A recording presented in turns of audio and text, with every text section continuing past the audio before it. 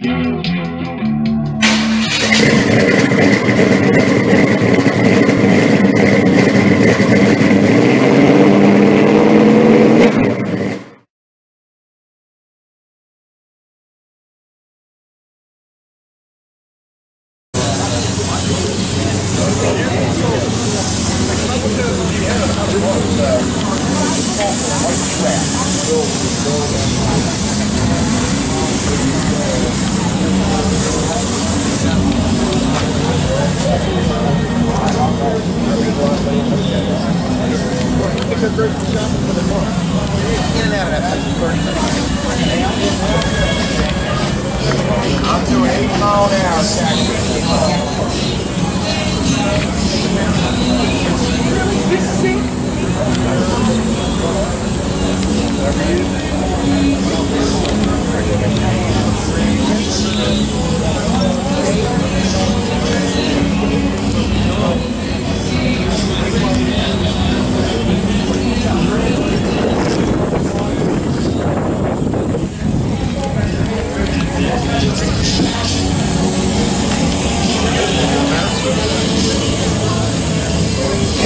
Yeah.